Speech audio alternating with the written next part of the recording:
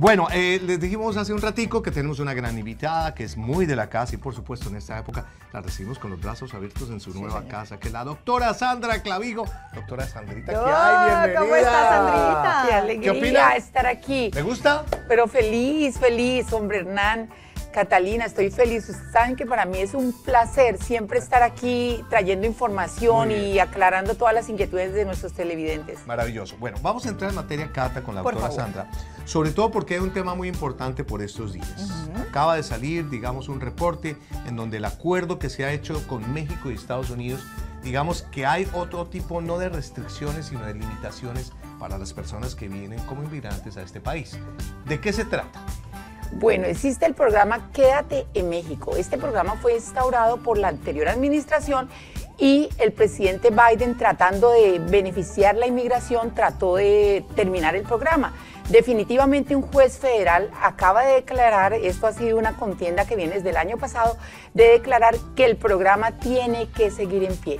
Básicamente es, todas las personas que tengan asuntos legales, asilos políticos pendientes en los Estados Unidos y que quieran entrar a los Estados Unidos deberán esperar en México hasta tanto su caso vaya a ser resuelto o tengan la citación en la corte. Entonces realmente fue, está yendo, se empezó desde, desde el día lunes.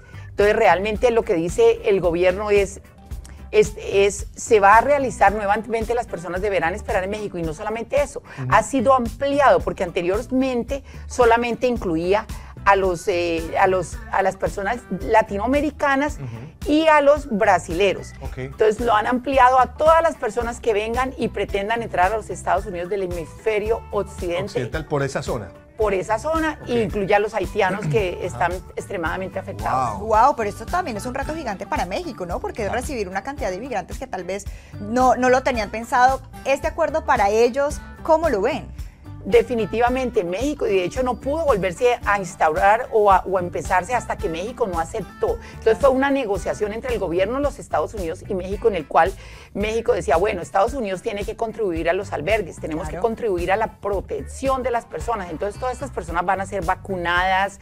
Hay una cantidad, digamos, de regulaciones en pie para poder proteger a México, porque realmente, como tú lo Claro. dices, México es el país que está siendo más Y afectado. sobre todo que México de, de alguna manera también pone sus propias regulaciones para filtrar un tanto los que vienen de Centroamérica y Por pasan por este país. Sí. Eh, bueno, la Cámara de Representantes por estos días también se ha notificado, entre otras alcancé a leer algo, que incluso el gobierno de Biden está siendo un poquitico más laxo con aquellas personas que a veces eh, el ICE las coge, pero el tema de la indocumentación no se vuelve tan complicado.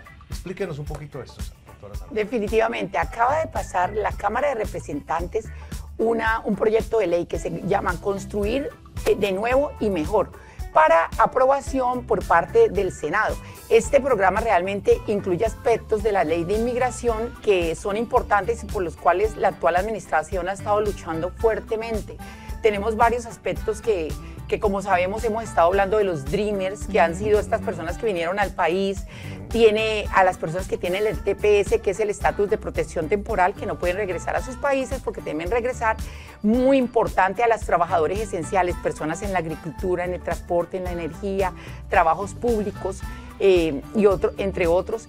Y también a las personas que tienen eh, deportación diferida. Deportación diferida, esto realmente no es un estatus. Esto es como, digamos, un poder que tiene el presidente dentro de sus habilidades para negociar, digamos, relaciones internacionales. Entonces, estas personas de, que tienen una, digamos, la, la deportación diferida están permitidos a estar aquí. Digamos que no es un estatus migratorio, pero hasta que por cierto tiempo. Entonces, Ya. estas personas podrían estar incluidas ahí, lo cual es muy bueno. Interesante, interesante. Bueno, eh, la doctora Sandra Clavijo ya una vez más Ella va a ser invitada de cabecera, técnicas. ¿cierto? Para que nos acompañe. E incluso le podemos dejar tareita para la próxima semana y en estos días que estamos hablando, eh, esos casos que se ven Ah. a veces cuando de manera, digamos, sentimental se puede enredar, ojo. Si uno no hace bien las cosas y se ha casado aquí y resulta por ahí Que que, por tiene allá por ahí una, un arrocito una- esos un arrocito en bajo por allá. se le puede enredar la vida. Eso puede ser una tarea interesante para la próxima visita, ¿le parece? Pero claro, preparadísima para la próxima visita. La, el, el Instagram suyo, sandraclavijo.visas. muy bien, fantástico. Muy bien, fantástico. Bueno, em, niñas, Por favor, dímelo. ¿qué tal? Les voy a hacer una pregunta rápida para que contesten ustedes sí o no. Estoy lista. Eh, ¿La doctora Sandra es feliz? Demasiado. Muy bien, demasiado. O sea, usted Sí. sí feliz, con una cara pues de ponqueque. Muy feliz. Resulta que Ana María nos tiene una información muy interesante de lo que dice la Universidad de Harvard con respecto a la felicidad. Escuchémosla.